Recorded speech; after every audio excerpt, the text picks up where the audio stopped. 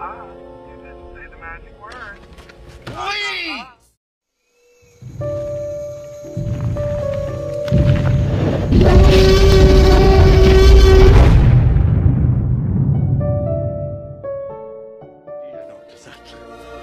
Welcome to Jurassic Park.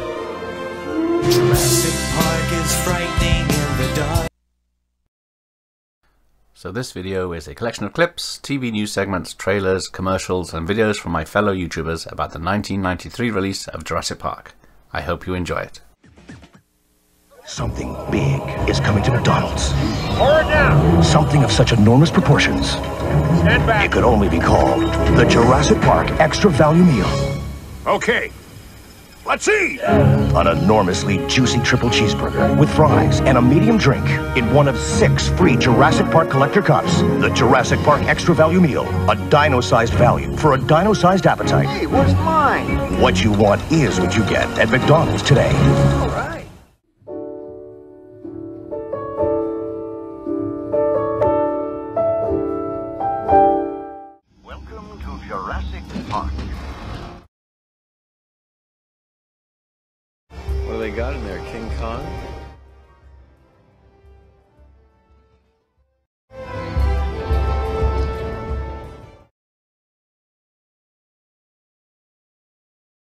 Jurassic Park is a 1990 science fiction novel written by Michael Crichton, a cautionary tale about genetic engineering. It presents the collapse of a zoological park, showcasing genetically recreated dinosaurs to illustrate the mathematical concept of chaos theory and its real world implication. The novel began as a screenplay that Crichton wrote in 1983 about a graduate student who recreates a pterosaur. Eventually, given his reasoning that genetic research is expensive and there is no pressing need to create a dinosaur, Crichton concluded that it would emerge from a desire to entertain, leading to a wildlife park of extinct animals. In 1991, Steven Spielberg received the rights to the novel and adapted it into the blockbuster film Jurassic Park. Before the book was published, Crichton had demanded $1.5 million for the film rights and a substantial percentage of the gross. Warner Brothers and Tim Burton, Columbia Pictures and Richard Donner, and 20th Century Fox and Joe Dante bid for the rights, but Universal Pictures acquired them in May 1990 for Spielberg.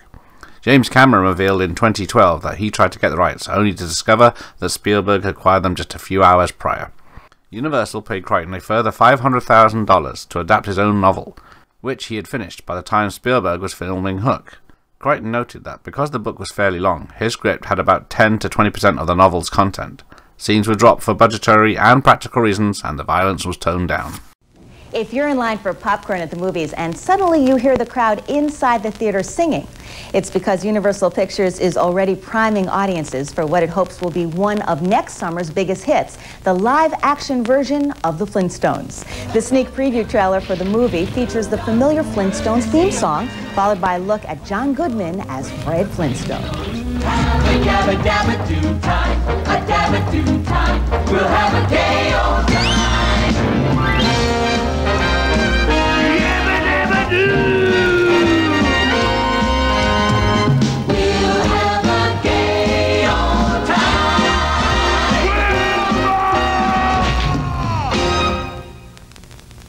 The Flintstones trailer is playing through July 4th before showings of Universal Pictures' other Stone Age story, Jurassic Park, which is already the highest grossing picture so far this year after being in theaters for just two weeks.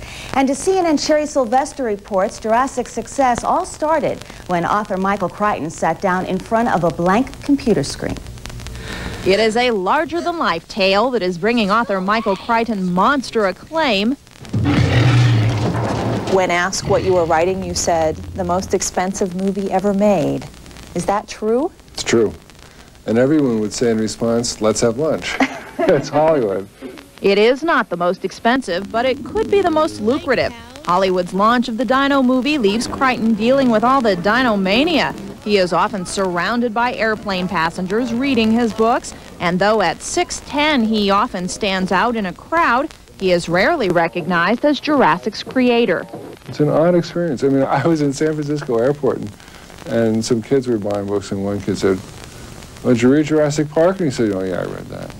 So I turned around and I said, is it any good? He says, yeah, it's good. Plain- yeah, it's good.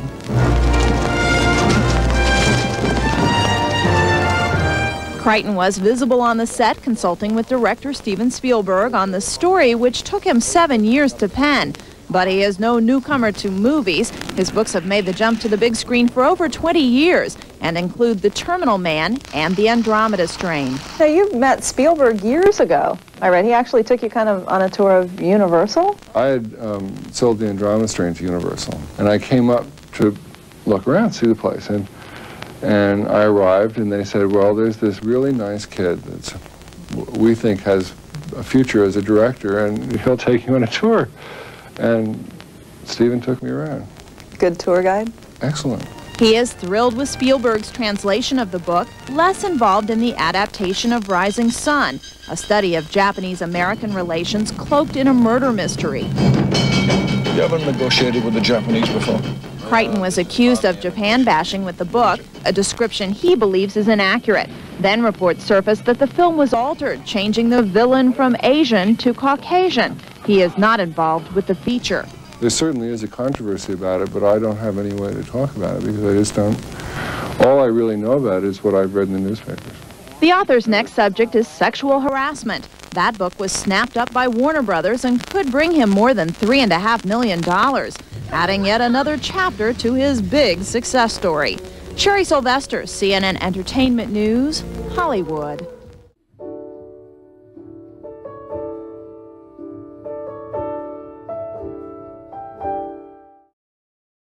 Jurassic Park is a 1993 American science fiction action film directed by Steven Spielberg, starring Sam Neill, Laura Dern, Jeff Goldblum, and Richard Attenborough. It is the first installment in the Jurassic Park franchise and the first film of the original Jurassic Park trilogy, and is based on Michael Crichton's 1990 novel of the same name, with a screenplay by Crichton and David Koepp. Malia Scotch Marmo began writing a script rewrite in October 1991 over a five month period, merging Ian Malcolm and Alan Grant. Spielberg wanted another writer to rework the script, so Universal president Casey Silver recommended David Koepp, co writer of Death Becomes Her. Koepp started afresh from Marmo's draft and used Spielberg's idea of a cartoon shown to the visitors to remove much of the exposition that filled Crichton's novel. While Koepp tried to avoid the excessive character detail because, whenever they started talking about their personal lives, you couldn't care less. He tried to flesh out the characters and make for a more colourful cast, with moments such as Malcolm flirting with Sattler, leading to Grant's jealousy, some characterizations that were changed for the novel. Hammond went from a ruthless businessman to a kindly old man, because Spielberg identified with Hammond's obsession with showmanship. He also switched the characters of Tim and Lex in the book. Tim is 11 and interested in computers, and Lex is only 7 or 8 and interested in sports. After completing Hook, Spielberg wanted to film Schindler's List. Sid Sheinberg, president of Music Corporation of America, gave the green light to Schindler's List on the condition Spielberg make Jurassic Park first. He brought in Stan Winston to create the animatronic dinosaurs, Phil Tippett created as dinosaur supervisor to create the go motion dinosaurs for long shots, Michael Lantieri to supervise the on-set effects, and Dennis Muren of Industrial Light and Magic to do the digital compositing. Paleontologist Jack Horner supervised the designs of the dinosaurs. After 25 months of pre-production, filming began on August 24, 1992, on the Hawaiian island of Kauai. The three-week shoot involved various daytime exteriors for Isla Nublar's forests. On September 11th, Hurricane Iniki passed directly over Kauai, costing a day of shooting. Several of the storm scenes from the film are actual footage shot during the hurricane. Samuel L. Jackson was to film a lengthy death scene where his character is chased and killed by raptors, but the set was destroyed by Hurricane Iniki. By mid-September, the crew moved to California to shoot the raptors in the kitchen at stage 24 of the Universal Studio lot. Given the kitchen set was filled with reflective surfaces, cinematographer Dean Cundey had to carefully plan the illumination, while also using black cloths to hide the light reflections. The crew also shot the scenes involving the power supply on stage 23 before going to Red Rock Canyon for the Montana dig scenes. The crew returned to Universal to shoot Grant's rescue of Tim using a 50 foot prop with hydraulic wheels for the car fall and the Brachiosaurus encounter. The crew filmed scenes for the park's labs and control room, which used Apple animations for the computers lent by Silicon Graphics and Apple.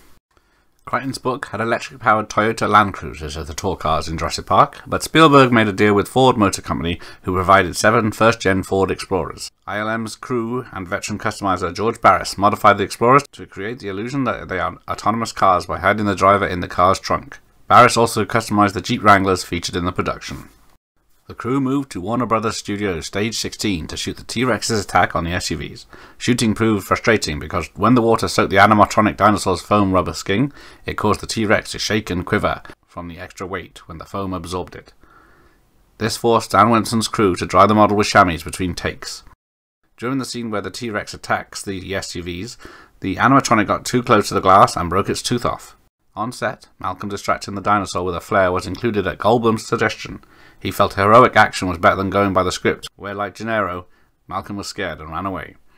The ripples of the glass in the water were caused by the T-Rex's footsteps, were inspired by Spielberg listening to Earth, Wind and Fire in his car, and the vibrations the bass rhythms caused. Lantieri was unsure on how to create the shot until that night. Before filming, he put a glass of water on the guitar he was playing, which achieved the concentric circle in the water Spielberg wanted. The next morning, guitar strings were put inside the car and a man on the floor plucked them to achieve the effect. Back at Universal, the crew filmed scenes with the Dilophosaurus on stage 27. The shoot finished on stage 12 with the climatic chases of the raptors in the park's computer rooms and visitors center. Spielberg changed the climax to bring back the T-Rex, abandoning the original ending where Grant uses a platform machine to maneuver a raptor into the fossil Tyrannosaurus jaws. The scene, which already included the juxtaposition of live dinosaurs in a museum filled with fossils, while also destroying the bones, now had an ending where the T-Rex saved the protagonists and afterward made what Spielberg described as a King Kong roar, while the iconic banner reading, When Dinosaurs Rule the Earth flew.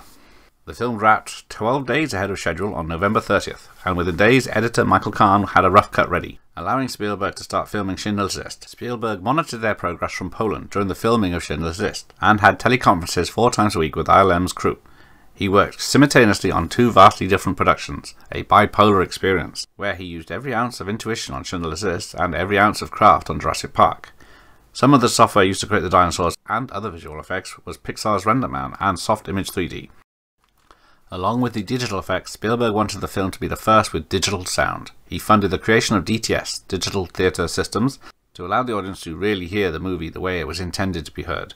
The sound effects crew, supervised by George Lucas, finished by the end of April. Sound designer Gary Rydstrom considered it a fun process, given the film had all kinds of noise animal sounds, rain, gunshots, car crashes, and at times no music. During the process, Spielberg flew on post production weekends from Poland to Paris, where he met Rydstrom to see the sound progress.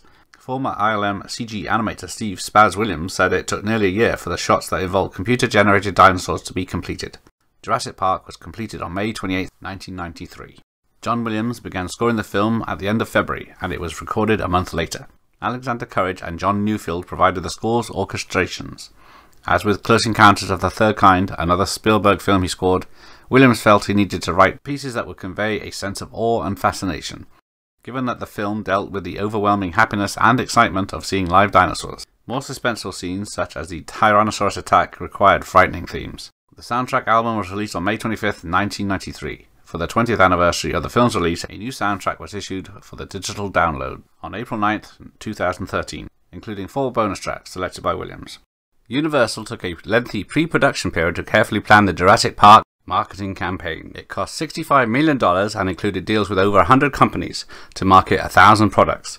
These included three Jurassic Park video games by Sega and Ocean Software, a toy line by Kenner, distributed by Hasbro, McDonald's dino-sized meals, and a novelization for young children.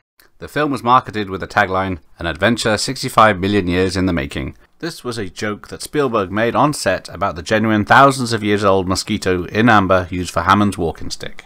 The Gallimimus was the first dinosaur to be digitized, featuring in two ILM tests, first as a herd of skeletons and then a fully skinned while pursued by the T-Rex. Its design was based on ostriches, and to emphasize the bird-like qualities, the animation focused mostly on the herd rather than the individual animals. As reference for the dinosaur's run, the animators were filmed running at the ILM parking lot, with plastic pipes standing in as the tree that the Gallimimus jump over. The footage inspired the incorporation of an animal falling, as one of the artists did try to make the jump. Hoarse squeals became the Gallimimus sounds. Tyrannosaurus was acknowledged by Spielberg as the star of the movie, and he rewrote the ending to feature the T Rex for fear of disappointing the audience. Winston's animatronic T Rex stood 6.1 meters, 20 feet, weighed 17,000 pounds, 8,000 kilos, and was 12 meters long. Jack Horner called it the closest I've ever been to a live dinosaur. While the consulting paleontologists did not agree on the dinosaur's movements, particularly its running capabilities, the dinosaur is depicted with a vision system based on movement. Though later studies indicate that the T Rex had binocular vision, comparable to a bird of prey. Its roar is a baby elephant squeal combined with an alligator and crocodile noises, as well as a tiger snarl and a lion's roar. Its grunts are those of a male koala, and its breath a whale's blow. Velociraptor plays a major role in the film. The creature's depiction is ultimately not based on a natural dinosaur genus, which was also significantly shorter. Shortly before Jurassic Park's theatrical release, the similar Utahraptor was discovered, although it proved even bigger than the film's raptors. This prompted Winston to joke, We made it, then they discovered it. For the attack on Muldoon and parts of the kitchen scene, the raptors were played by men in suits. Dolphin screams, walrus bellowing, geese hissing, an African crane's mating call, tortoises mating, and a human rasp were mixed in to formulate their various raptor sounds. Special effects work continued on the film with Tippett's unit adjusting to the new technology with dinosaur input devices. Models that fed information into computers to allow them to animate the characters like stop motion puppets. In addition, they acted out scenes with raptors and Gallimimus. As well as the computer generated dinosaurs, ILM also created elements such as water splashing and digital face replacement for Ariana Richards' double. Compositing the dinosaurs onto live action scenes took an hour. Compositing the dinosaurs onto live action scenes took around an hour. Rendering the dinosaurs often took 2 to 4 hours per frame, and rendering the T Rex in the rain took 6 hours per frame. Here is the video of the stop motion test footage.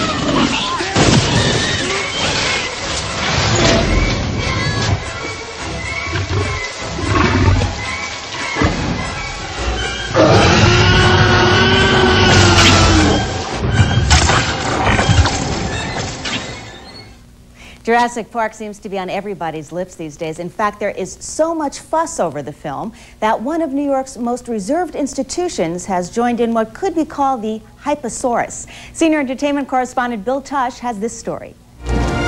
It's finally here. Jurassic Park, the story of dinosaurs brought back to life, came to theaters around the country this week. So it seems most of us moviegoers will have to be content to just sit in the dark and watch the actors romp with those prehistoric creatures on screen. But if you live here in New York City or plan on visiting this summer, guess what? You can come here to the American Museum of Natural History and see with your very own eyes, up close, the dinosaurs of Jurassic Park. When Peter May, who created some of the film's creatures, suggested to Steven Spielberg the idea of an exhibit, the gears were set in motion on one condition. Steven Spielberg said as long as it's done under the ban of a non-profit organization, it's fine. So the proceeds from the exhibit go back to the science of paleontology. So enter the Museum of Natural History and a non-profit organization called the Dinosaur Society, which hopes the exhibit will do more than just entertain. Today, we finally have a shot of getting kids excited again about something that's imaginative, that's exciting, that kids get turned on to, that parents can reach down inside of them and turn on that creative switch. Although having a real up-close look at some of the things that were actually in a movie that could be the blockbuster of all time is kinda neat. Well, while we have the experts on hand, let's ask a few questions about all this. Where have they stretched the truth? Well, it's a Hollywood production. They stretch the truth throughout. The uh, Dilophosaurus is one third the size of a real one. The Brachiosaurus and Velociraptors are much larger.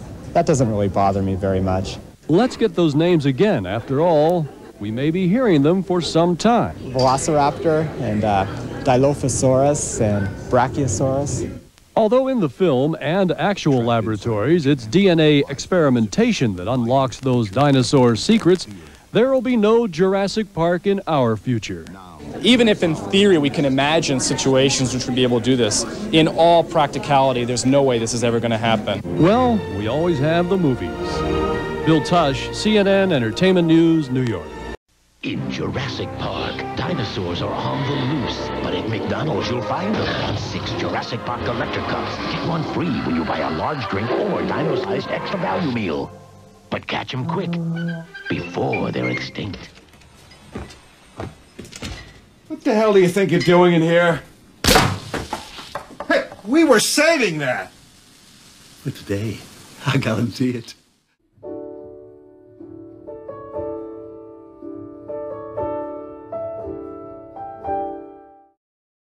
Jurassic Park premiered at the Uptown Theatre in Washington, D.C. on June 9, 1993, in support of two children's charities. The film had previews on 14,000 screens starting at 9:30 p.m. EDT on Thursday, June 10th, and officially opened on Friday in 2,400 theatre locations and an estimated 3,400 screens.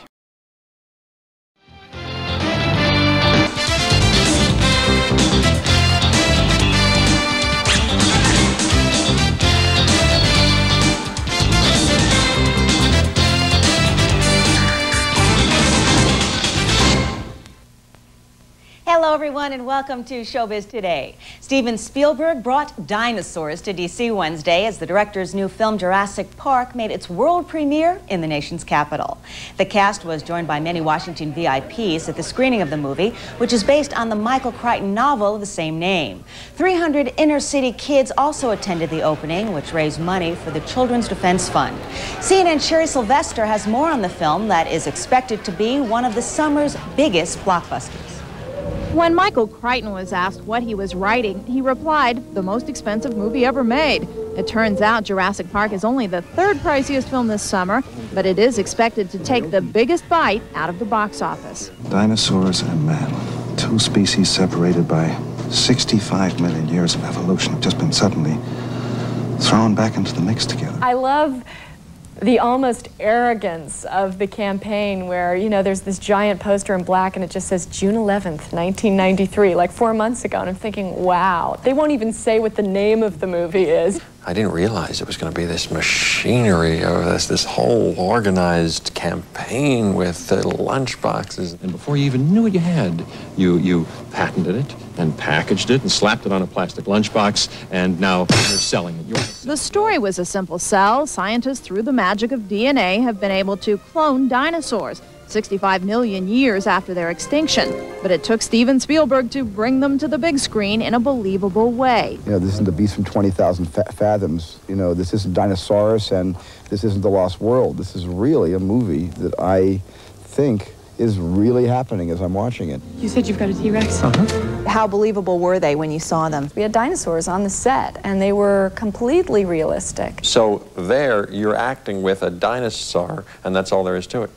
You know, fi- like 15 guys where one would operate the breathing, one's operating the blinking, one the tongue.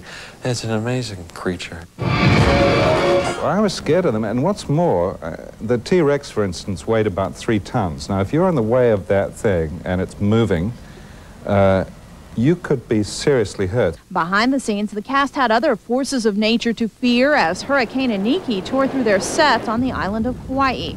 The experience brought the cast closer together, particularly Laura Dern and Jeff Goldblum, who began dating after the film wrapped. But questions about their relationship have been far outnumbered by questions about the dinosaurs. What the dinosaurs are like. I mean, everybody wants to know. Everyone is dealing with the dinomania. Kids, and my kids, who have, who have a whole new light of respect in their eye for Dad now that he's um, acted with dinosaurs. We as actors go in and immediately you realize the star of the movie is Steven Spielberg. Then come the dinosaurs. Then come, you know, kind of us. Can I touch it? Sure. So how big will the audience be? Other studios in town are so sure of monster-sized crowds for Jurassic Park that they will not open any of their pictures against it. Meanwhile, Universal is readying 3,000 prints of the dino picture. Only Batman Returns open with more. Sherry Sylvester, CNN Entertainment News, Hollywood. Moviegoers weren't the only ones scared by Jurassic Park. No studio had the guts to release a film against it over the weekend. Our movie analyst Martin Grove joins us live from Hollywood with more on Jurassic's killer opening. Marty. Uh, Lauren, you know, this movie is knocking them dead at the box office. Indeed, Jurassic Park premiered with the vengeance of a velociraptor, a remarkable feat for Universal Pictures. But then again, June 11th was a lucky day for Universal and Steven Spielberg once before. On June 11th, 1982, Universal Pictures opened E.T. the Extraterrestrial, the film that would become the highest grossing in movie history, bringing in $399 million domestically. Just like a flock of birds evading a predator. It's too soon to say if Jurassic Park will be as big as E.T., but it's certainly giving some other blockbusters a real run for its money. Will Jurassic Park's success stomp on what Columbia Pictures hopes is their lucky day? With Last Action Hero opening this coming Friday, history shows there's room enough for two big moneymakers in the same summer season. For example, in June 1984, Ghostbusters and Gremlins opened the same weekend, and both films scared up lots of moviegoers. The summer of 89 starred Batman and Indiana Jones on the Last Crusade. Batman went on to gross $251 million, while Indy 3 did $197 million. And of course, last summer boasted two blockbusters, Lethal Weapon 3 and Batman Returns, both sequels and both brought in the big bucks. So it looks like Arnold Schwarzenegger and Last Action Hero have at least a fighting chance of surviving the onslaught of the dinosaurs. Lauren? But Marty, today's Daily Variety and also the Hollywood Reporter both gave absolutely scathing reviews to Last Action Hero. If the negative reports keep coming between now and Friday, could Arnold Schwarzenegger have a bust on his hands? Uh, Lauren, fortunately, most moviegoers don't read uh, the Hollywood trade, so we're safe on that account. Uh, of course, uh, bad reviews uh, in general could be harmful, but I think what really will matter is this fact that uh, audiences love Arnold Schwarzenegger, so it'll be a big opening no matter what. And after that, it's all up to word of mouth. And Marty, one final question. I know, we all know that Jurassic Park just opened, but there is already talk of a sequel? Yes, and uh, you know, with numbers like these, Lauren, uh, let's face it, uh, I don't think we're going to see Jurassic Park turn extinct at the box office. Uh, you can look for Universal to try for a sequel. We'll be looking. Marty, thank you so much, and we'll look for you next Monday. Great. You know what this is? It's a dinosaur egg. The dinosaurs are breeding. On Showbiz Today, Jurassic Park takes off like a pterodactyl at the box office. But parents and psychologists say the movie is too scary for young kids. And welcome to Showbiz Today. I'm Lauren Sidney. Jim Moret has the day off. Well, no doubt about it, Jurassic Park is pure dynamite at the box office. As CNN Sherry Sylvester reports from Hollywood, the movie opened to the biggest non-holiday weekend business in 65 million years. Better than Batman, said some of the moviegoers leaving the theater. Better than Batman business, say the folks at Universal. Monster sized crowds devoured nearly every available ticket. Jurassic Park opened to an estimated $50 million at the box office. Look, you zeroing in on the money? Everywhere you go, it's all you see is dinosaurs, dinosaurs, dinosaurs. A lot of hype, but I wasn't disappointed. It was great. This was way better than Batman. You felt like the dinosaurs were actually standing next to you. For their part, the cast and crew kept the film's look a secret before its opening. Dinosaur sightings were rare. No visitors were allowed to roam the set. Steven Spielberg, working on another film in Poland, had his viewings of this work in progress scrambled on the satellite, so no one would get a sneak preview.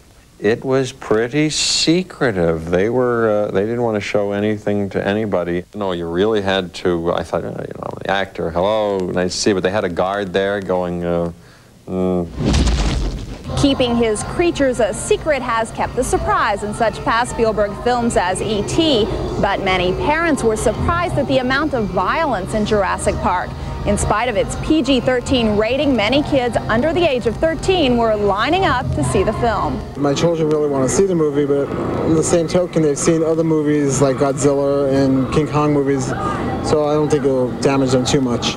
Spielberg's own kids are too young for the film, as is author Michael Crichton's four-year-old. My sense about this is that um, children under six, it's not, it's really not suitable, and between six and eight, uh, my way of looking at it is to say to parents, has your child seen T2? And if the kid's seen T2, then this is fine. I have um, an 11-year-old and a 9-year-old who are busting to see the film, and I'm very happy for them to see the film. But the kid also has to have a healthy knowledge in that there used to be things called dinosaurs that walked the earth. And uh, none of them were purple, sang songs and were named Barney. But for my age and all the way up to as old as you can be, they're great. Psychiatrist David Levy, who has not seen the film, offers this bit of advice for parents. Talk to other people, other adults whom you respect, whom you trust, who've seen the movie, and weigh their opinion uh, with your decision. Universal estimates that only 2% of the crowd so far has been under the age of 8. For others, the 65 million year wait is over. All that's left to do is count the millions in dino dollars. Sherry Sylvester, CNN Entertainment News, Hollywood.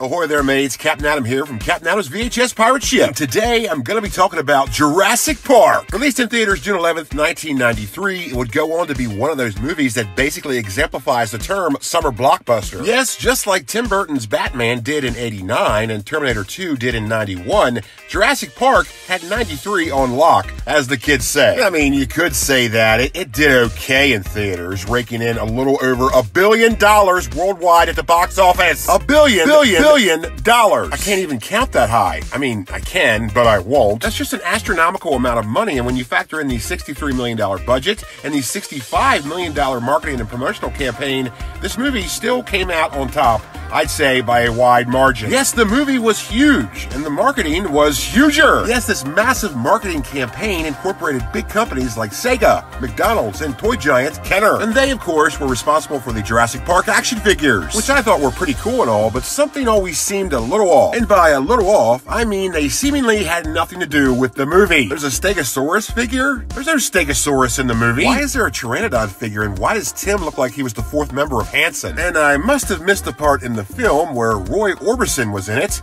Oh, that's supposed to be Dennis Nedry. And why wasn't there a Lex figure? Or an Ian Malcolm figure? These are two pretty big characters. Why aren't there figures for them? Oh, you can do a Roy Orbison, but you can't do Ian Malcolm? Now, Kenner would eventually correct this mistake and include an Ian Malcolm figure in their Series 2 line of Jurassic Park, but still, no Lex. And Ariana Richards, the actress who portrayed Lex, has stated in interviews that she'll always be disappointed she never got an action figure. Well, we're talking original Jurassic Park action figures here. There would eventually be a Lex figure, but not until 2021. Boy, is that after the fact or what? And wow, check out that likeness.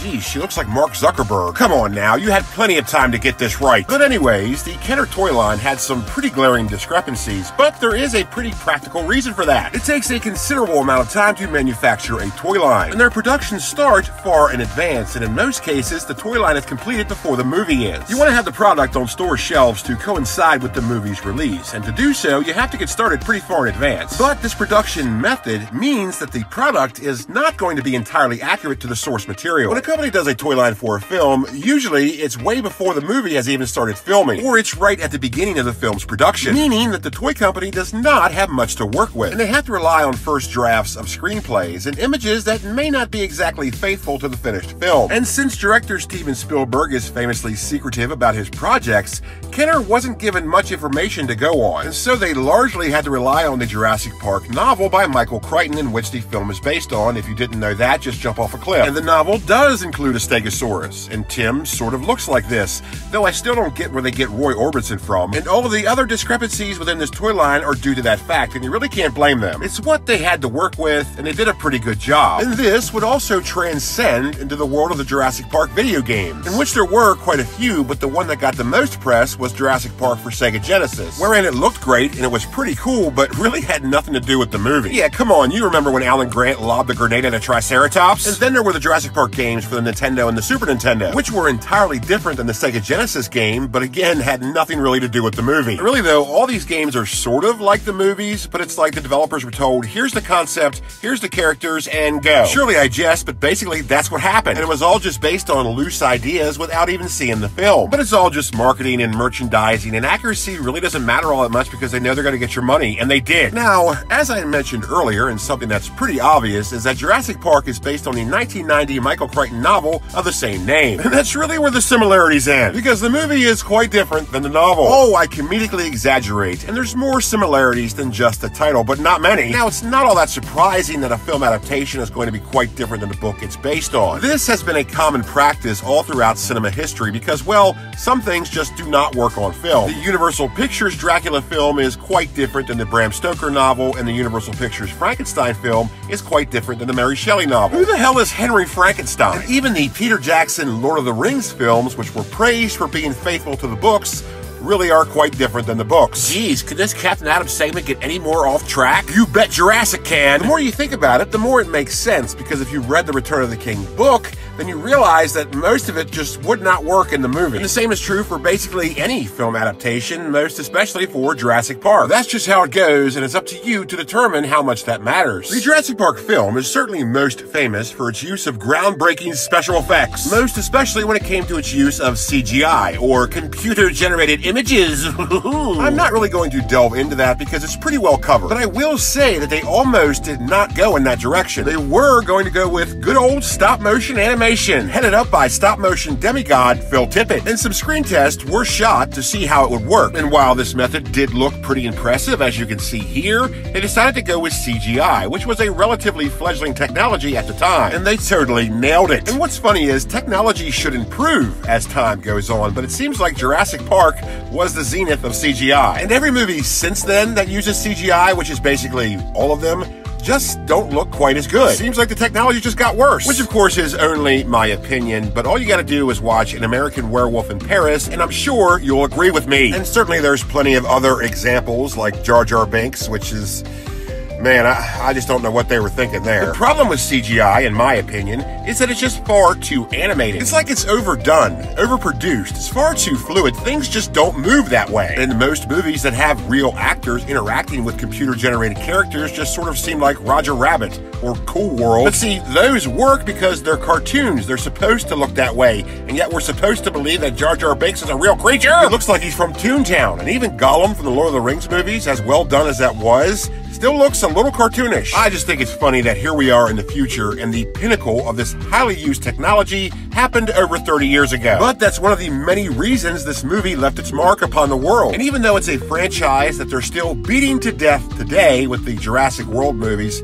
man, I just can't stand those films and Well, Jurassic Park 3 never should have happened, and you know what? The Lost World kind of sucks too. But, anyways, all of these films are never going to captivate the world like Jurassic Park did. It was just one of those movies that was the right thing at the right time, and the world was ready for it. I know I was. I saw this movie 13 times in the theater. Of course, movies were a lot cheaper back then. I certainly wouldn't do something like that nowadays. I get highly nostalgic when I think about Jurassic Park and the summer of 93 because it reminded me of Batman in the summer of 89. Because Batman was everywhere in the summer of 89 and dinosaurs were everywhere in the summer of 93. 93 had a magical summer and Jurassic Park is responsible for that. This has been Captain Adam Captain Adam's VHS Pirate Ship. Take care out there and I'll see you on the seven seas.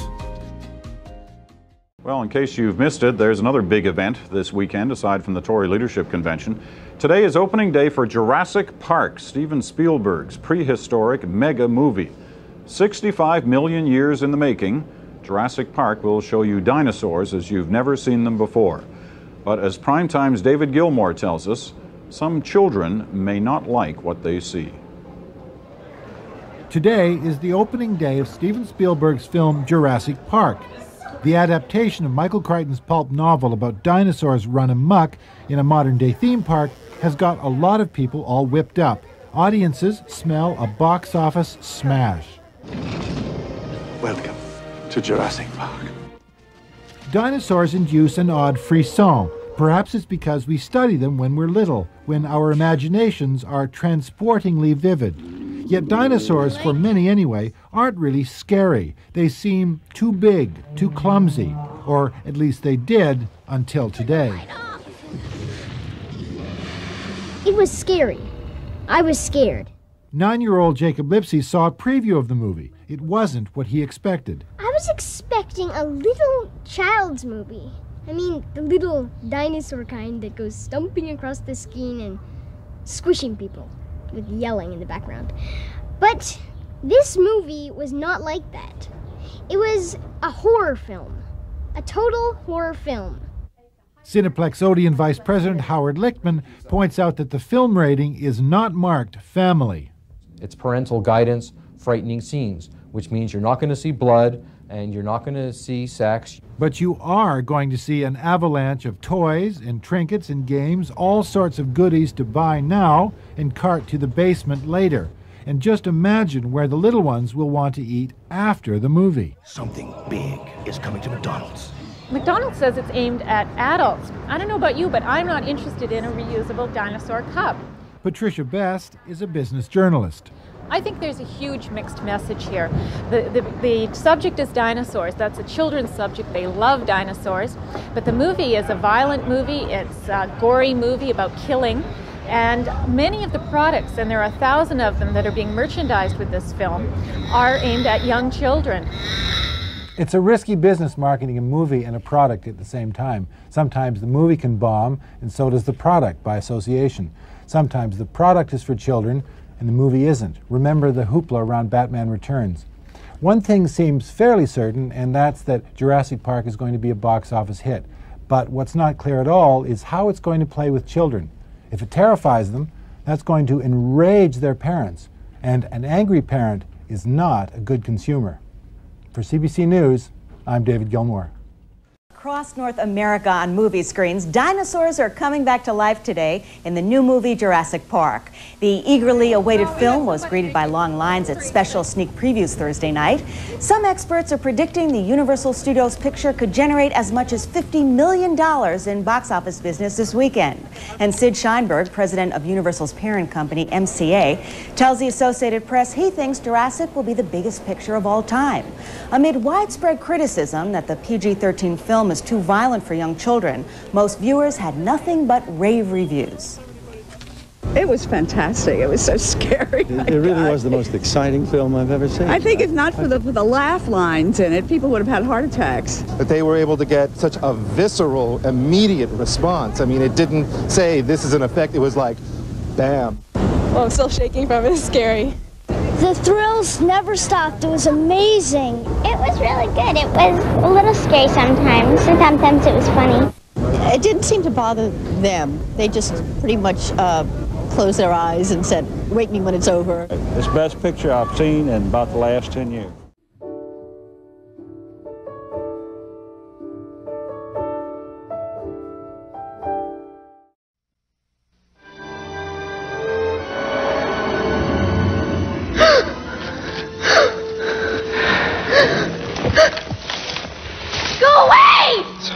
It's okay. Brachiosaur. They're back after millions of years. Dinosaurs, of course, in Steven Spielberg's Jurassic Park. And the bottom line is that his special effects dinosaurs are truly thrilling, but unfortunately his human characters are not. Sam Neill and Laura Dern play archaeologists lured to a billionaire Richard Attenborough's nature park where he has grown some very real dinosaurs. He's looking for the scientists' endorsement. They're looking at the dinosaurs, and so are we. Faster there. Well, we clocked the T-Rex to 32 miles an hour. T- T-Rex? Mm-hmm. You said you've got a T-Rex? Uh-huh. Say again. Also on the island, a skeptical mathematician played by Jeff Goldblum, the best human character in this movie. He has some of the same adult edge as Spielberg's adult characters in Jaws. You stood on the shoulders of geniuses uh, to accomplish something as fast as you could, and before you even knew what you had, you, you patented it and packaged it and slapped it on a plastic lunchbox, and now you're selling it. You want to sell it. Well, I, I don't think you're giving us our due credit. Our scientists have done things which nobody's ever done before. yeah, yeah, but your scientists were so preoccupied with whether or not they could that they didn't stop to think if they should. As you might expect in the movies, when man plays God, he loses, and the dinosaurs are soon running free. Look at the wheeling, the uniform direction changes, just like a flock of birds evading a predator. They're, uh, they're flocking this way.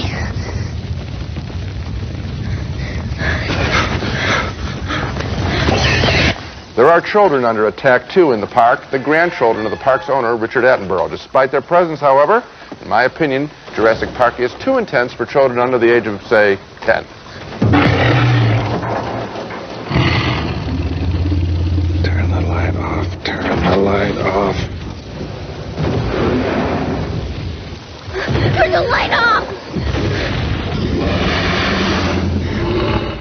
Jurassic Park has a number of peak thrills at the level of the attacks in Jaws, and it has moments of real wonder. But when the animals are off screen, the film really lags. That wasn't true if you think about it with Jaws, which had three marvelous characters hunting the shark.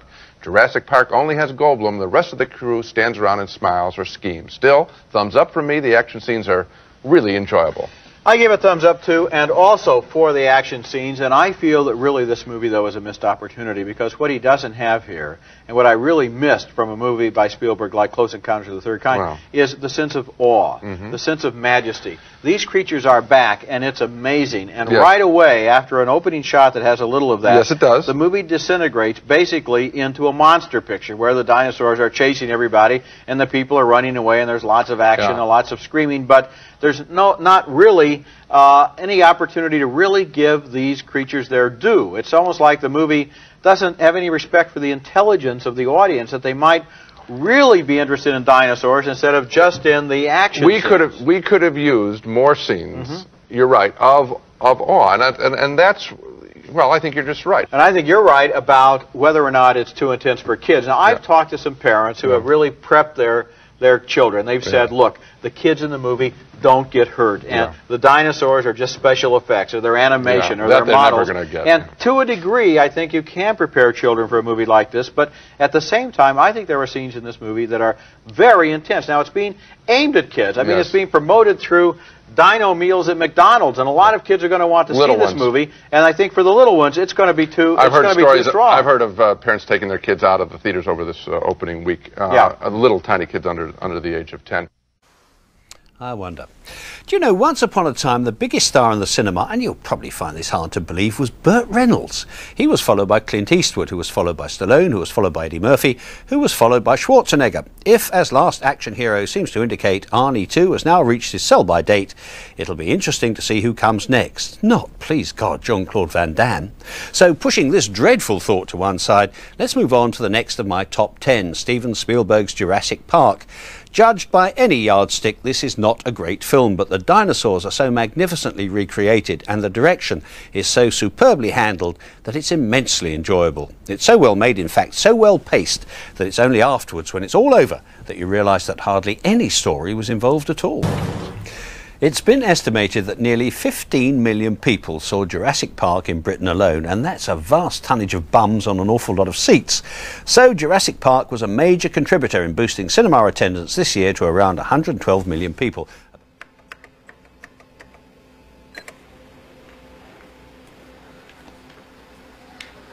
Uh, now, eventually, you do plan to have dinosaurs on your on your dinosaur tour, right? Hello? Oh, hello? Yes? I really hate that man.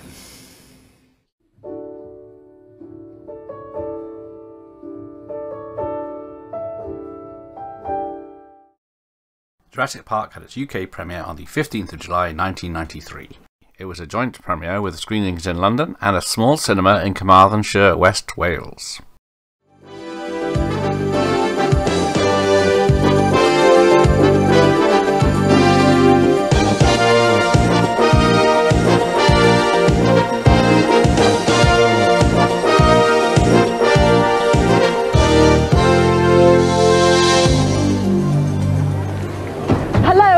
Welcome to the Empire in London's Leicester Square for the royal premiere of Steven Spielberg's 1993 blockbuster movie Jurassic Park.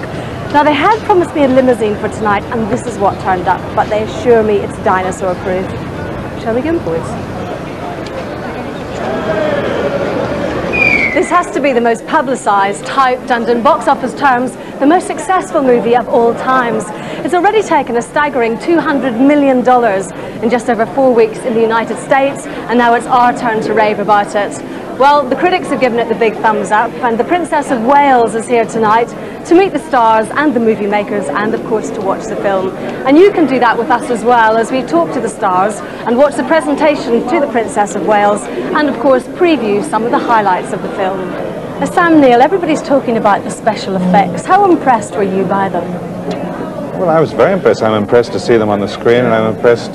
I was impressed on the floor when we were shooting the film. Um, the, the special effects are such that they, they never really feel like special effects. They feel like dinosaurs. Was it quite moving to see your first dinosaur? Well, the first dinosaur was sick, you know, and I always feel sorry for sick animals, and this is a very big sick animal. And he looked so real and kind of pitiable that um, sort of brought a tear to the eye. But you'll see him in the film, you know. Now the film has been so successful. Did you expect it to be like this? Well, I thought it would be. I thought it would be a success. You know, I thought um, I thought all the ingredients were there. We had Spielberg and some great actors and a good script and some pretty good dinosaurs. So the film would uh, would work and people would like it. But I had no idea that it would take off in the way that it has. It's become sort of this tidal wave type phenomenon. No stopping it. They say you should never work with uh, children or dinosaurs or something like that. You ended up doing both. How was that? Yeah, yeah. Well, I survived, you know, and I came out the other end. And um, and I made some good friends, you know. The kids are good friends of mine. The dinosaurs are not quite as friendly, but, you know, um, we'll probably work together again. Who knows? You have three children of your own. What do they think of the film? Well, one of them is seeing it for the first time tonight, and uh, he can't wait. And my oldest one has already seen it, and she seemed absolutely horrified at the time, but she wants to see it another half dozen times, so I, I guess it worked for her. Are they very impressed that it's their dad up there? Yeah, it's kind of cool to have dad in a film that all their friends are talking about. it makes a change. If there is to be a sequel, would you like to be in it? Yeah, but well, particularly if Steven's directing it, because I think uh, most of the magic of the film is, is largely due to his, you know, to his being at the helm. So I'd very much like to be in it if he's doing it. Jurassic Park also had a UK premiere on the 15th of July 1993 in a small cinema in Carmarthenshire, West Wales. Elizabeth Evans, the leader of the youth theatre in Carmarthen, had launched a campaign to save the Lyric Cinema from closure and had secured a screening of the film. The distribution company later reportedly went back on their word, so the mayor of Carmarthen at the time, Richard Goodridge, stepped in to help with the fax to the film's director, Steven Spielberg. Then, six days later, a response arrived from the managing director of United International Pictures. The letter stated, In order not to disappoint the people of Carmarthen, I have now given instructions for a print of Jurassic Park to be allocated at the Lyric Cinema. Not only did they agree to show the film itself, but it was also shown at the same time as the London premiere. This story was then made into a 2022 film called Save the Cinema, with Jonathan Pryce, Samantha Morton, and Tom Felton.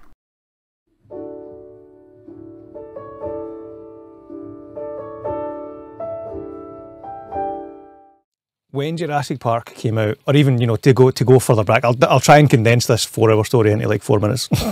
uh, I was into dinosaurs as a kid for about a year before Jurassic Park was even a thing.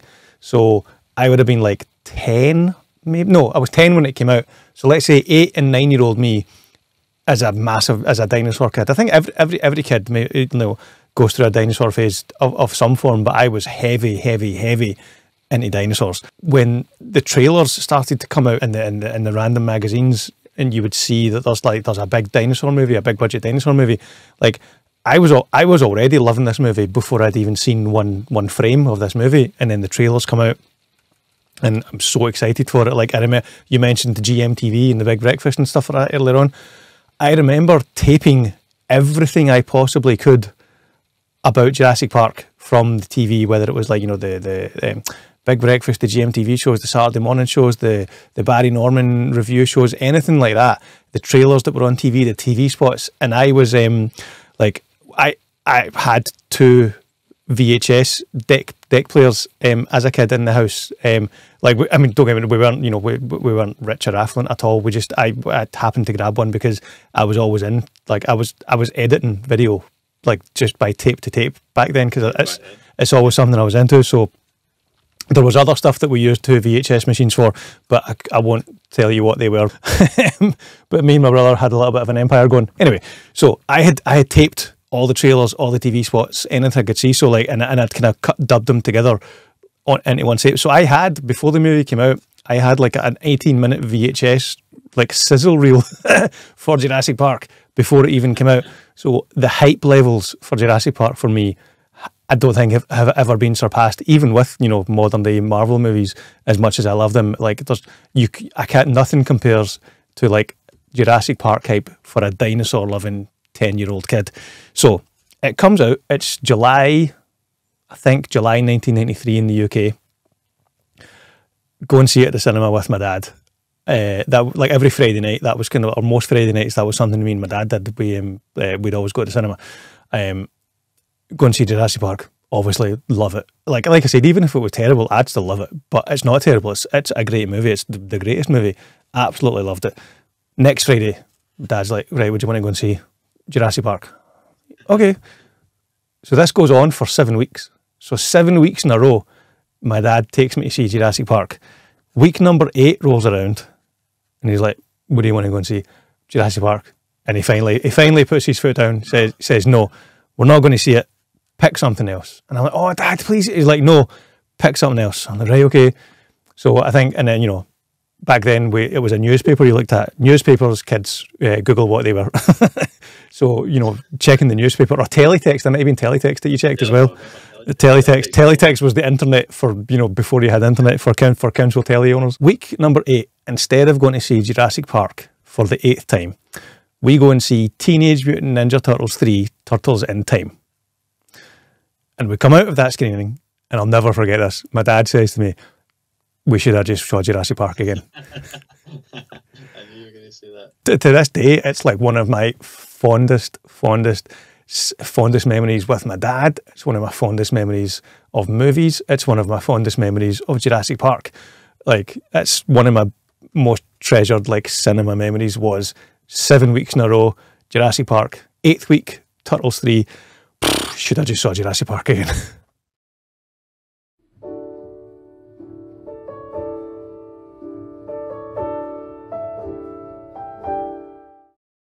My story for the release of Jurassic Park is a simple one. At that time, I lived over 50 miles from the nearest multiplex, and as such went about every two weeks to see several films at once. The Monday before the film was released, I bought two tickets for the midnight showing on the Saturday of the opening weekend. I was going to ask the girl from the chip shop to join me, but I chickened out. So I went on my own and thoroughly enjoyed it.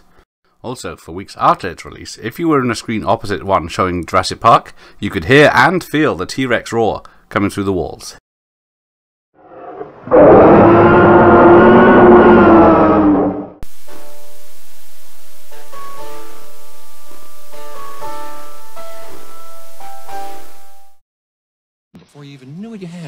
You, you patented it and packaged it and slapped it on a plastic lunchbox, and now you're selling it. You're selling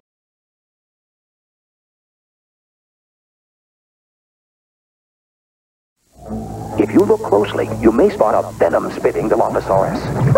It's Jurassic Park. The evil Nedry steals a baby Brachiosaurus, but an electronic hooting Dilophosaurus attacks him. Look out! Muldoon takes the capture copter to save Nedry. Fire the net! Got! Nedry's free! But the stomping and roaring giant T-Rex spots an easy meal. Each sold separately. Look for the JP mark. It's happening, but only at Jurassic Park.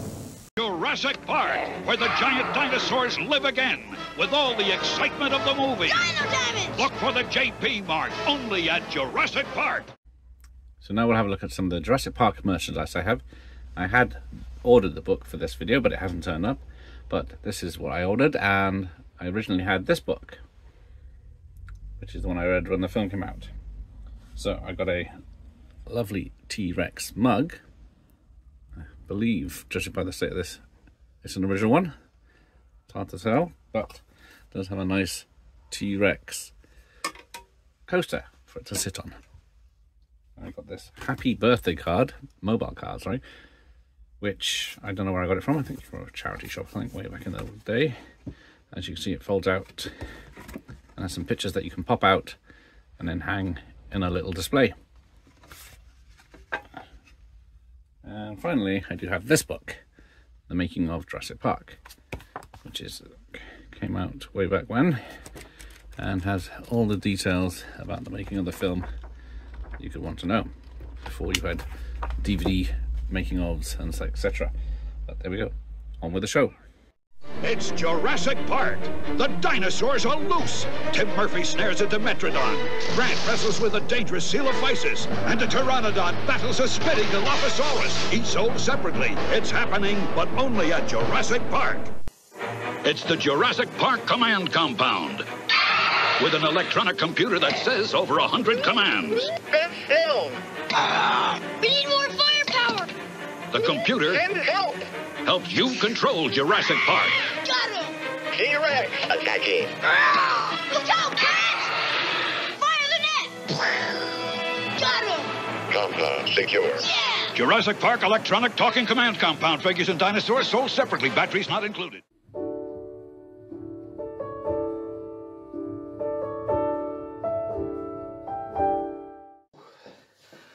What the hell? This workstation. What a complete slob.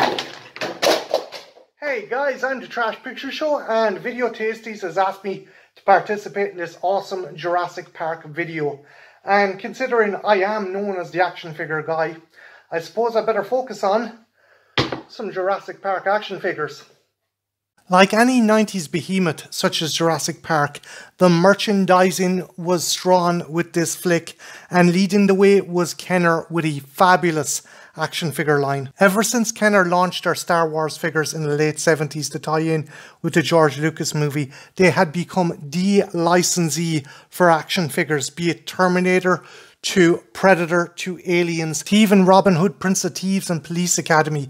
If you wanted action figures made of your movie, you went to Kenner and they did not disappoint. The first initial JP release consisted of five human characters, seven medium-sized dinosaurs, two of which were electronic, four larger dinosaurs, the T-Rex being electronic, three vehicles and one humongous playset in the form of the Jurassic Park Compound Command Center. As always, Kenner took liberties with the source material and expanded the line with some more exotic species and even pulled from the Crichton novel itself by giving Robert Muldoon a rocket launcher and including the juvenile T-Rex. Fun fact, on the back of the packaging where it showed the other figures you could get in the line, the T-Rex that was displayed was actually a maquette from the Stan Winston Studios. Yes, it wasn't a T-Rex that Kenner was releasing. All that said, it's still a badass figure. You can only come to the logical conclusion that Kenner did not have the large Rex ready in time for the figure line's initial release and pleaded with Stan Winston to use the maquette as part of the advertising line for the figures. Wave 2 consisted of reissues of the first figures with a whole new colour scheme, along with a whole host of new dinosaurs and human characters. The humans were broken down into two groups, the Dino Trackers and the Evil Raiders, and one holy grail of this wave is the Carnotaurus figure known as Demon. As per usual, Kenner knocked it out of the park with these figures. And as well as all that, we had video games. Probably the best known of all of these was the one released by Ocean for the Super Nintendo. This top-down isomorphic shooter saw you take the role of a very muscular Alan Grant armed with some serious hardware blowing the shit out of raptors and other dinosaurs. Because yes, I remember that in the movie. Another notable thing about this game was the first person sequences when you entered a building. You would put on night vision goggles and then would go into a first person mode, shooting dinosaurs that were loose inside in the compound or visitor center. Alternatively, if you didn't own a Super Nintendo, there was other options, such as the Sega Mega Drive game, which was essentially a platformer. Jurassic Park even found its way to the Amiga. Hell, Tiger even wanted in the action, and by action I mean climbing a tree in order to escape the dinosaurs. And if video games weren't your thing, Parker Brothers released an absolutely awesome board game that essentially has you traverse the island to escape. As you can see, my version's seen better days. While my heart is with Alien and Predator, Jurassic Park is the movie that made me appreciate cinema and filmmaking and also got me into the lifelong hobby of collecting figures. If you want to learn a bit more about Jurassic Park collectibles, check out this awesome book by Christoph Tiges. It's essentially a guide from everything Jurassic Park to Jurassic World since the original release and is essential for any wannabe collectors. So with that, big thanks to Video Tasties for letting me participate. Not included. Jurassic Park. The dinosaurs are on a rampage, and only the JP team is tough enough to stop them. Grant fires his net launcher. Ellie launches her grappling hook. Muldoon fires a tranquilizer, each sold separately. It's happening, but only at Jurassic Park. Our dinosaurs are gentle vegetarians. It's Jurassic Park. A raptor grabs a baby dinosaur. Grant tears off in the bush devil tracker to save it. Use the snare! He's safe! Look out, Triceratops! But the young T-Rex wants a piece of the action. Dino damage! Can the dinosaurs be recaptured? Look for the JP mark. It's happening, but only at Jurassic Park. Jurassic Park, Bush Devil Tracker, dinosaurs and figures each sold separately. Jurassic Park dinosaurs are on the loose. Can the Dino Tracker stop them? T-Rex trying to breaks up a fight. Jaws Jackson snags a ramhead. Look for all the incredible action that lives on. Jurassic Park. Jurassic Park, the dinosaurs are on the loose again. Now Grant's armed to the teeth and Malcolm's loaded with weapons. They chase down a Gallimimus in the capture cruiser. Got him! But the giant electronic Utahraptor surprises them. It's happening again, only at Jurassic Park.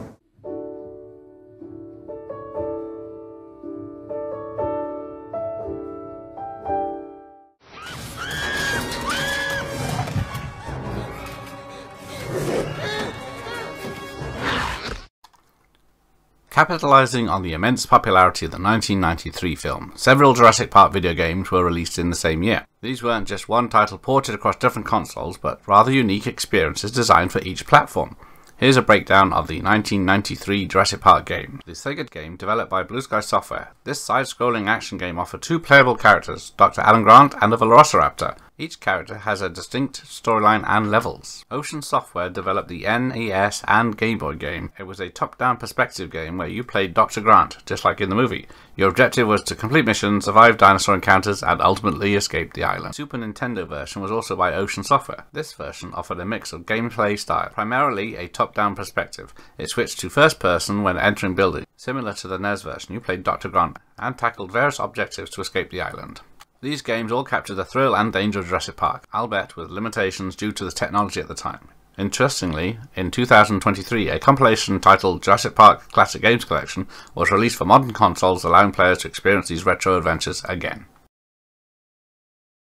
One of my favourites was the arcade game with the light gun, so let's have a look at that now.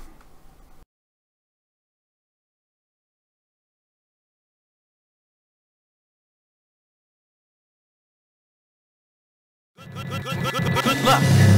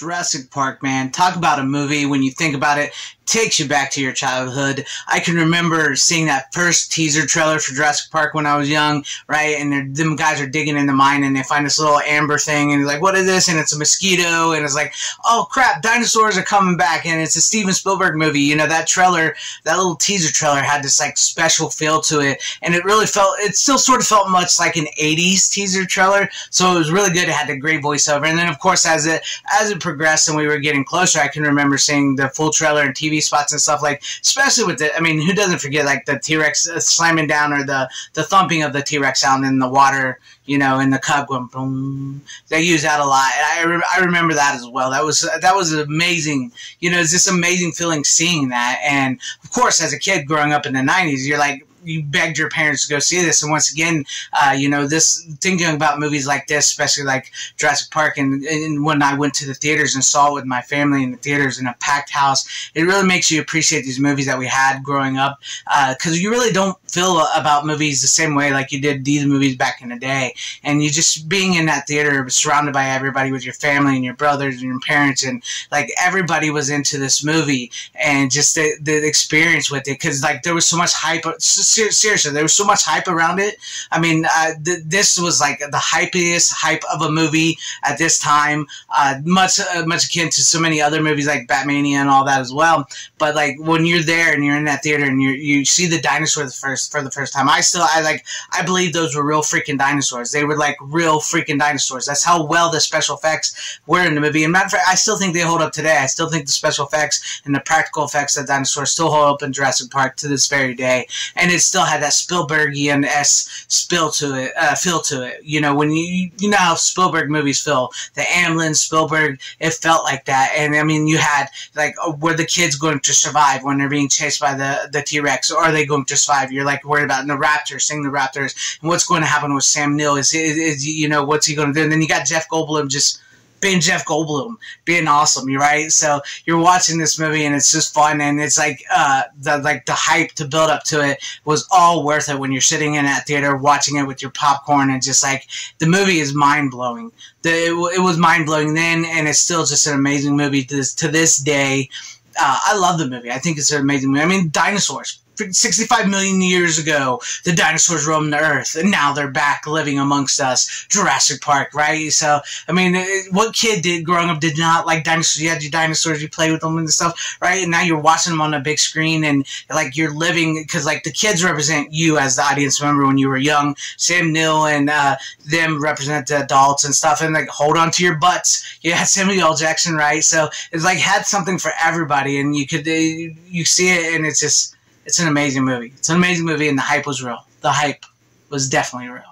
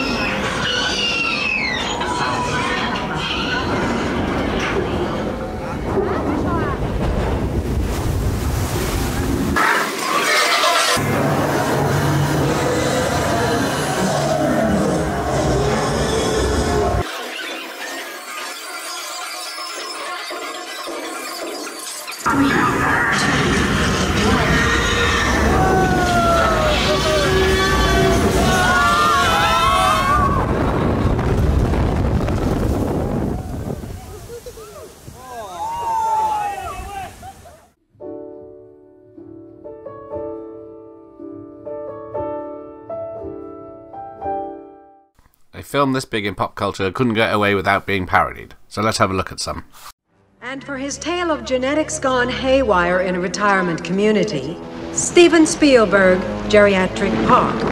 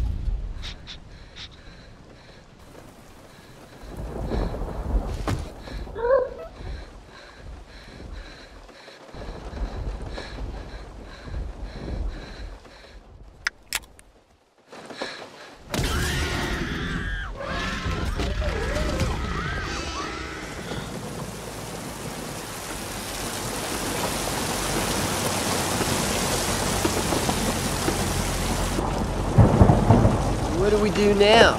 Here, let me look at it. Get the flashlight. Okay. There's the main gate, and here we are. No, no, no, man. We're over here. Uh, I don't think so. We took a left turn at the gate, so that would put us. Garth! Wait a minute. I know where we are. I'm pretty good with maps.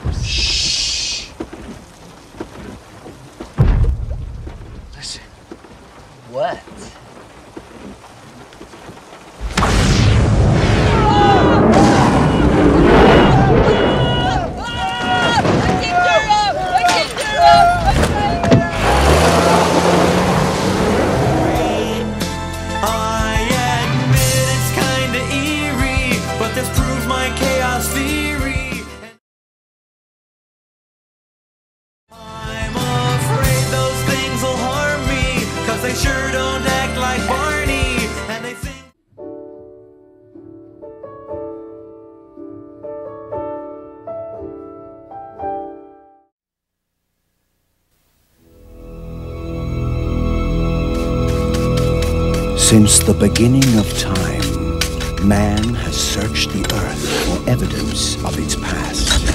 But while some have looked for clues to the mystery, one man has found the way to bring the mystery back to life. I own an island off the coast of Costa Rica, and I've spent the last five years setting up a kind of biological preserve. Here, on this private island, science has defied evolution. Where do you get a hundred million year old dinosaur blood? Genetics has mastered creation. We've made living biological attractions so astounding that they'll capture the imagination of the entire planet. And extinction is a thing of the past. Welcome to Jurassic Park. They got in there King Kong? None of these attractions are ready yet, of course, but the park will open with the basic tour you're about to take. Hey, look at this. You see something? Dinosaurs and man. Two species separated by 65 million years of evolution. Just been suddenly thrown back into the mix together. Can I touch it? How can we possibly have the slightest idea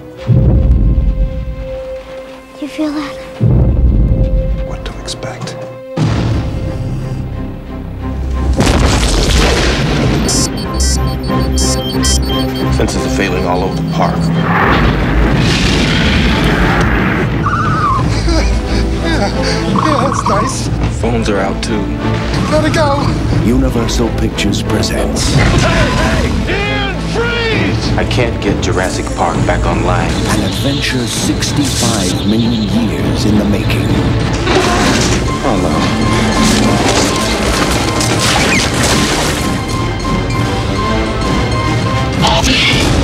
Just a delay. That's all it is. All major theme parks have delays. When they opened Disneyland in 1956, nothing worked. But John, if the Pirates of the Caribbean breaks down, the pirates don't eat the tourists. You sure we're safe? Yes. Unless they figure out how to open doors.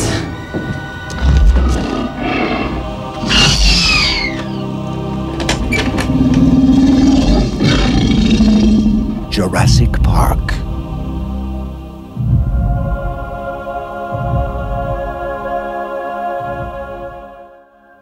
It won three Academy Awards. It had the biggest opening day ever, the biggest three day weekend ever, the biggest seven day gross ever. Jurassic Park has earned an astounding $900 million at the worldwide box office. On October 4th, 1994, Steven Spielberg's entertainment powerhouse that made worldwide box office history opens its gates for everyone to own.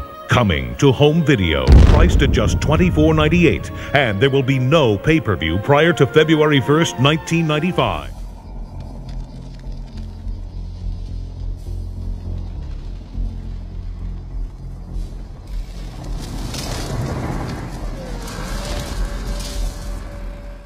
So we'll have a look at the physical media that I own of Jurassic Park from 1993. First up, the Blu-ray. The poster, I'm still not sure of, but half like it, half don't like it. Would have been nice if it was reversible with the original cover, or the original poster, I should say. I got that. With the CD soundtrack and the wonderful John Williams. You know, they re-released a extended version at some point in the early 2000s, I believe, but what's got in here? Yeah, some pictures and details about the tracks. That's nice. And then we got the DVDs. We got this box set of the first two films. But we'll only look at the first one for this. In widescreen. Best way to see this film.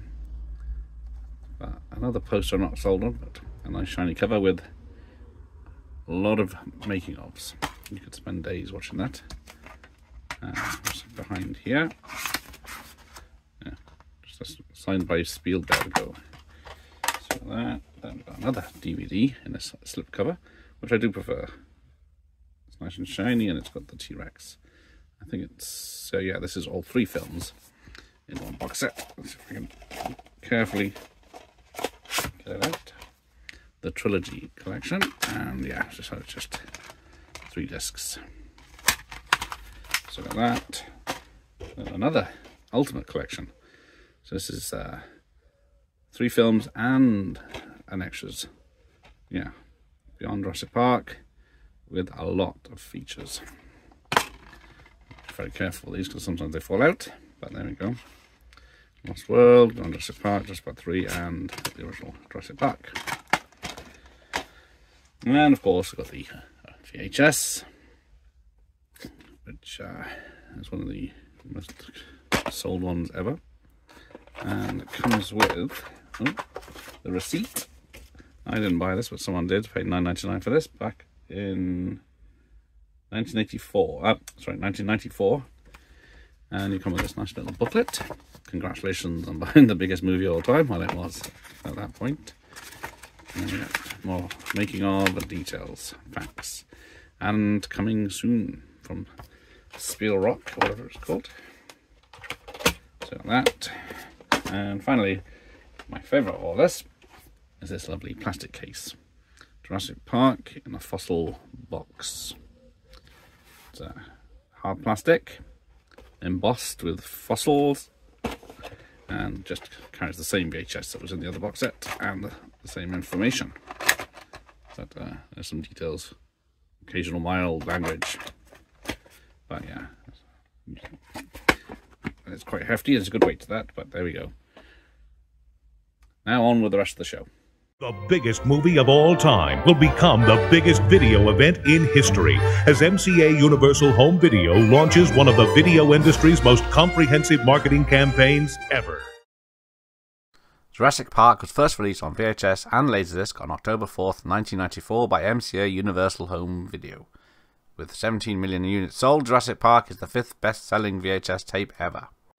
A seven month marketing blitz that starts this July and continues through the holidays and into 1995. It all begins with a pre sale campaign like no other. Retailers will receive a unique merchandising kit that includes a three sided sign up center announcing the video release of Jurassic Park and two exciting consumer offers. One panel features an impressive consumer gift with reservation offer. Consumers can receive a special edition Dinosaurs of Jurassic Park print, suitable for framing, free when they reserve a copy of Jurassic Park. These beautifully reproduced prints are based on the original conceptual drawings created by the Stan Winston Studio and are exclusive to the pre selling of the Jurassic Park video cassette.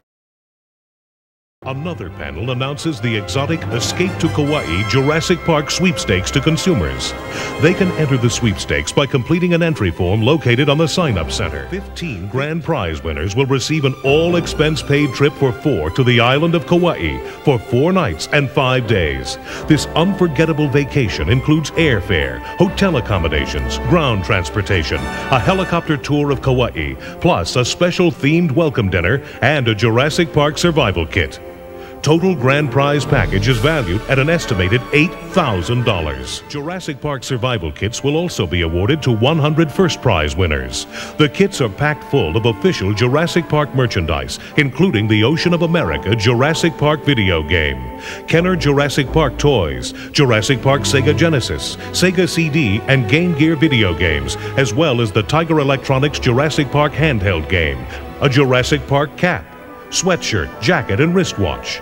The Jurassic Park Survival Kit is worth over $300. The pre-sale merchandising kit also includes an oversized video box with two danglers, plus six two-sided 12 by 12 cards, retail buttons, two static cling window decals, and three one-sheet posters. Advertising support begins big and early as well, starting with a radio and national print campaign promoting the gift with reservation offer and the Escape to Kauai Jurassic Park sweepstakes. This extensive pre-sale campaign will create over 2 billion Jurassic Park pre-sale consumer impressions, and that's only the beginning. We'll team up with MTV and Beach MTV to bring viewers the outrageous Jurassic Park Call of the Wild contest. Three times a week, contestants will go head to head in a fierce competition to win their own Jurassic Park survival kits, including one of the first home video release copies of Jurassic Park. And viewers at home can compete to win a trip for two to Kauai by dialing MCA Universal Home Video's special Jurassic Park hotline. Beach MTV segments with the Jurassic Park promotion will be taped for the first time ever in Jurassic Park Stomping Ground, Hawaii, and will air three times a week for four weeks beginning July 25th. Next comes an extensive cross promotional program with Jello Ready to Eat Snacks. This massive promotion features a $5 consumer mail in rebate offer with the purchase of the Jurassic Park video and six proofs of purchase from Jello Ready to Eat gelatin and pudding snacks. It begins September 15, 1994, and runs through January 31, 1995. Jello is supporting this mail-in rebate offer with a multi-million dollar advertising campaign promoting the Jurassic Park video, the mail-in rebate offer, and a Jiggler Cutter offer. Next in our Jurassic Park campaign, we're hatching something really exciting. MCA Universal Home Video will connect with CompuServe for our first ever online promotion. CompuServe, the leading worldwide provider of computer-based information with nearly 1.9 million members, will feature an online trivia promotion with prizes that will run from August through September. Plus, three full-page color magazine ads will run in CompuServe magazine during that same period. And the promotions continue in October with an on-air sweepstakes on the Sci-Fi channel that will reach 24 million households. Tiger Electronics, Ocean of America, and Kenner, exclusive licensees of Jurassic Park merchandise, will also join in on this historic home video marketing campaign, promoting the video cassette with tags on their network, cable, and spot TV commercials, running from October 1994 through January 1995.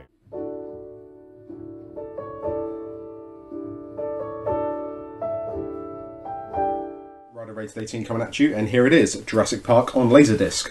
This is the UK PAL release, and uh, it comes in this very nice box set. I don't know if all of the UK releases had this box set, but the guy I bought this off from in the job lot, uh, he had this box with it, so I don't know if they all came with this set.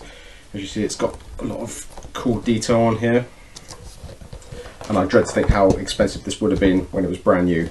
And uh, it does come with the disc as well. If we just take out the disc, and as you can see, uh, very standard cover, the usual standard for Jurassic Park. But the good thing is, this release is pressed by Pioneer themselves, so the sound and picture quality are absolutely top notch.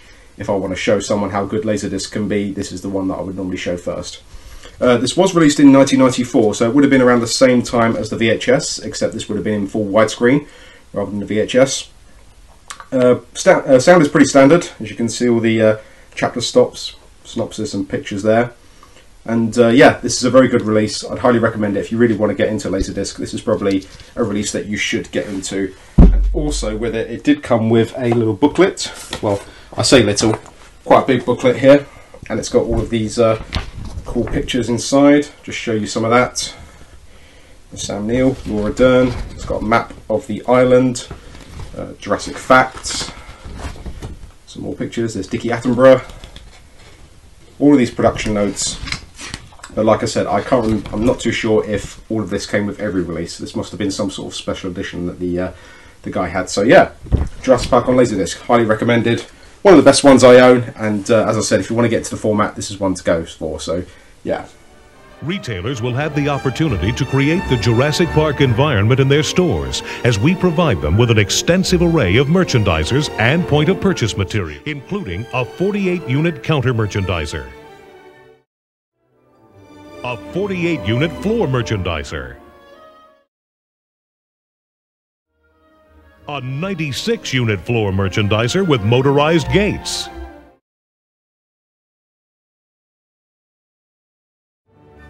And a 168 unit floor merchandiser with motorized gates and lights.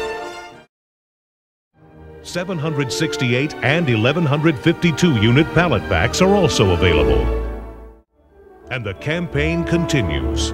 Point of sale items include a pop up standee featuring dinosaurs from the movie, one sheet posters and half sheet posters, and static clings.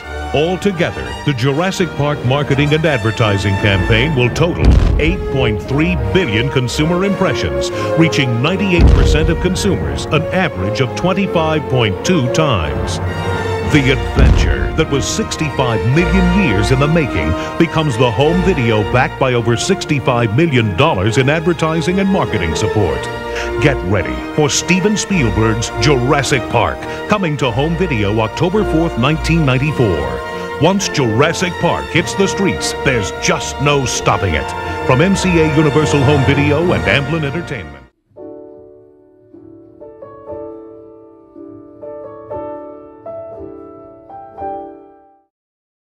Jurassic Park was broadcast on US television for the first time on NBC on May 7th, 1995, and Christmas Day on BBC One in the UK in 1996. This May,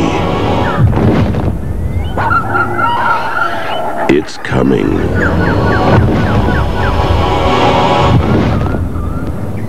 To NBC.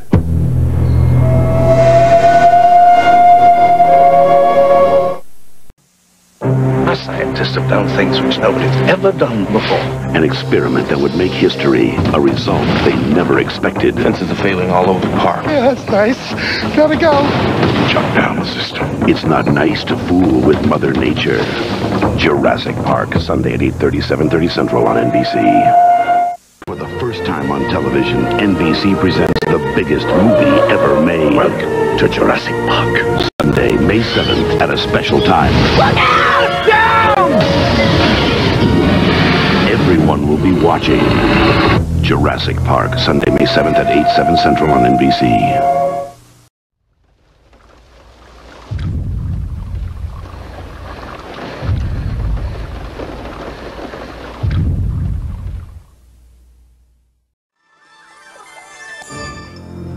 Sixty-five million years of evolution separated man from the dinosaurs. Until now. What species is this? It's a velociraptor. Sam Neill, Bred raptors. Ellie, boot up the door locks! Jeff Goldblum, Your scientists were so preoccupied with whether or not they could, they didn't stop to think if they should. and Laura Dern. I think we're back in business. Star in the Steven Spielberg blockbuster Jurassic Park. Christmas Day at 6:30 on BBC One. Fairly alarmed here.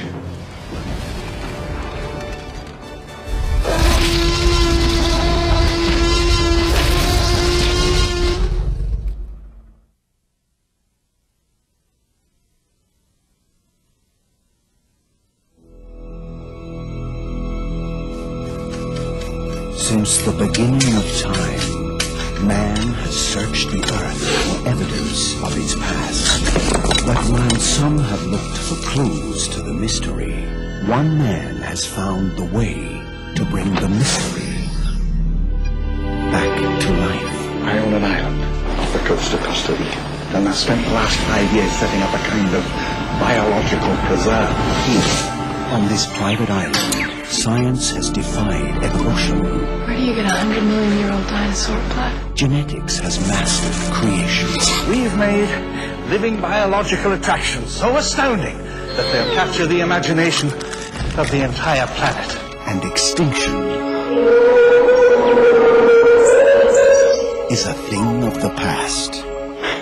Welcome to Jurassic Park. We got it there, King Kong. None of these attractions are ready yet, of course, but the park will open with the basic tour you're about to take. Hey, look at this. You see something?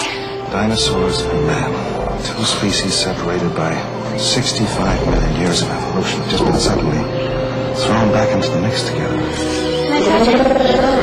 How can we possibly have the slightest idea